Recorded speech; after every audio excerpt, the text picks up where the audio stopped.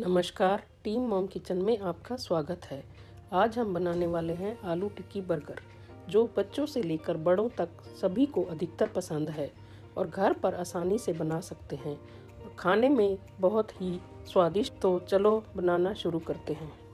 आलू टिक्की बर्गर बनाने के लिए हमने लिया है पाँच उबले हुए आलू, दो प्याज स्लाइसिस किए हुए, दो टमाटर स्लाइसिस किए हुए, पत्ता गोभी कद्दूकस करी हुई चार बन हमने तिल वाले लिए हैं।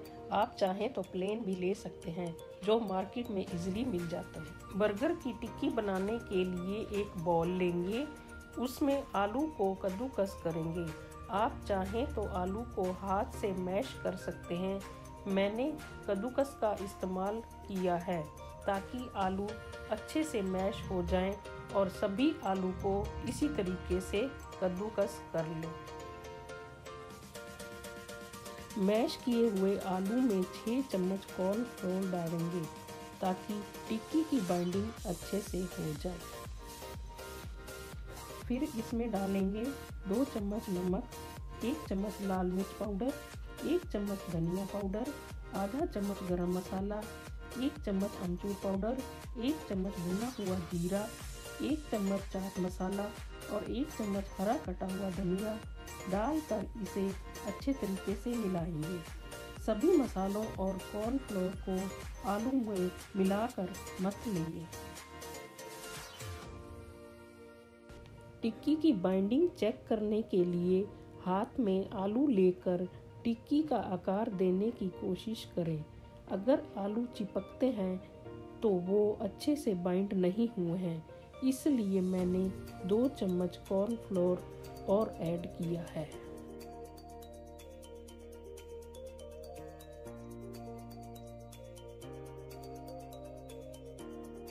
आधा चम्मच तेल हाथ पर लेकर आलू पर लगाएँगे और अच्छे से मथ लेंगे, ताकि टिक्की बनाते समय चिपके नहीं।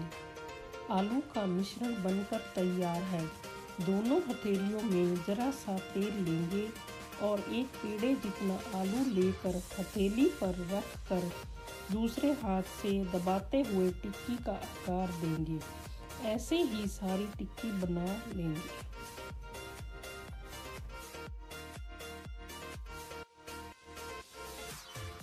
आलू टिक्की को फ्राई करने के लिए एक पैन लेंगे और दो चम्मच तेल डालेंगे। आप चाहें तो इसे डीप फ्राई भी कर सकते हैं, लेकिन हमने शैलो फ्राई किया है। तेल गर्म होते ही टिक्की को एक एक करके तवे पर रखेंगे और धीमी आँच पर उन्हें गोल्डन ब्राउन होने तक सेकेंगे। जब साइडों से गोल्डन ब्राउन होने लग जाए, तब उसे पलट लेंगे।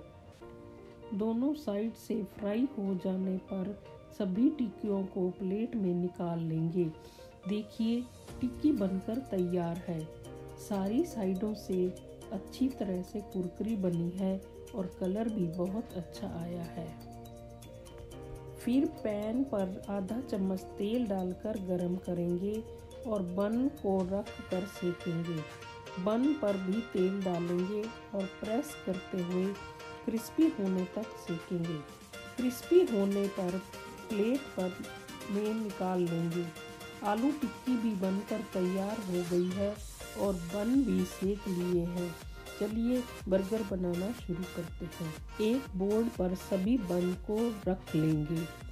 बॉटम बन पर ग्रीन चटनी लगाएँगे। उस पर टिक्की रखेंगे।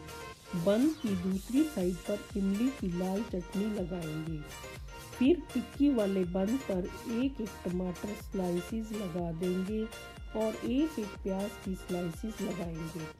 फिर दोनों साइड पर कटी हुई पत्ता गोभी लगाएँगे और हरा धनिया भी लगाएँगे। आखिर में मियोनिस लगाएँगे और फिर एक एक बंद को टिक्की वाले बंद पर रखेंगे और उस पर टूथपिक लगा कर टाई कर देंगे। देखिए, हमारा आलू टिक्की बर्गर बनकर तैयार है। दिखने में कितना यम्मी लग रहा है। आलू टिक्की बर्गर को पत्ता गोभी और हरे कटे धनिए से गार्निश करेंगे। आप भी इस यम्मी बर्गर की रेसिपी को ट्राई करिए और इसकी यमीनस का स्वाद लीजिए। अगर आपको हमारी ये रेसिपी पसंद आई है तो लाइक करें और सब्सक्राइब करना ना भूलें।